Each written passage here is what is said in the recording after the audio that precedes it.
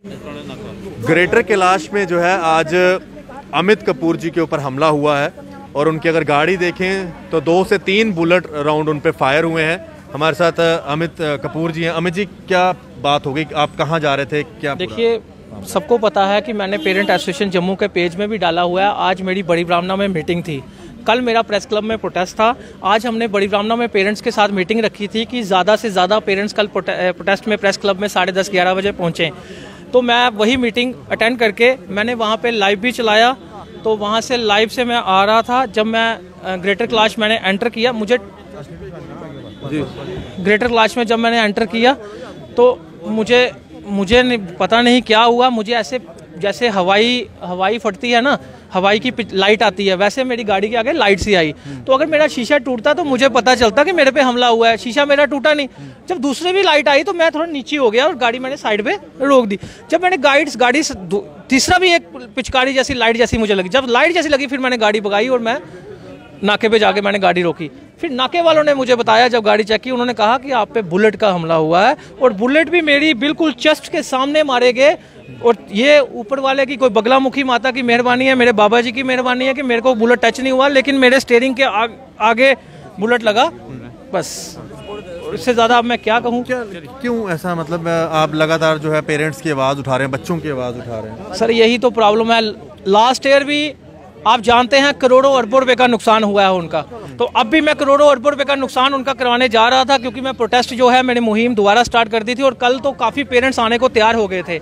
लेकिन ये मुझे समझ ये ऐसा तो कोई अंदेशा ही नहीं था मेरे पे। लेकिन क्या बोल सकता हूँ मैं? ये पुलिस इन्वेस्टिगेशन करेगी तो वो बताएगी।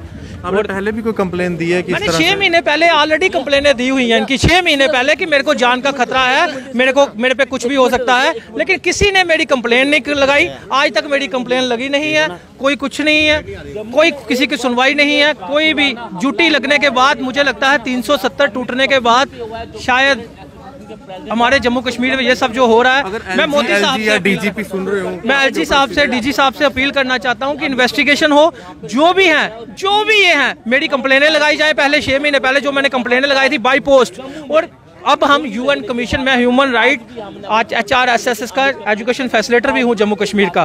तो इन्होंने जितने मेरे पे आरोप लगाए थे वो बेदाग साबित हुए।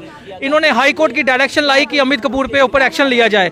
इन्होंने देखा कि अमित कपूर के ऊपर तो कोई गलत बात है ही नहीं अमित कपूर में। तो फिर मुझे समझ नहीं आती कि आखिर मेरे पे ये क्या चल रहा है। जानलेवा हमला जानलेवा अमित आप देखें गोली सीधे मेरी चेस्ट पे गोली मारने की कोशिश की गई है। अमित कपूर जी हमारे साथ बात कर रहे थे। इनके ऊपर जो है हमला हुआ है इनके मुताबिक।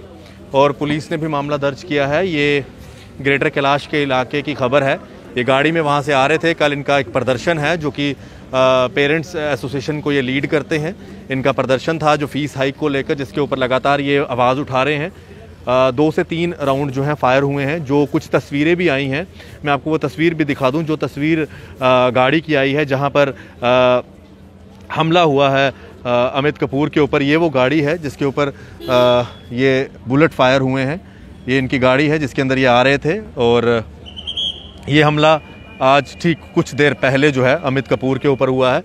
और फ़िलहाल पुलिस मामला की पूरी इन्वेस्टिगेशन करेगी और क्या मामला है, लेकिन फ़िलहाल ये अमित कपूर का कहना था, जो अभी आप सुन रहे थे, देखते रहे JK media. Ashish Kohli, cameraman Ashok Chaudhra ji के साथ जेके मीडिया के लिए धन्यवाद।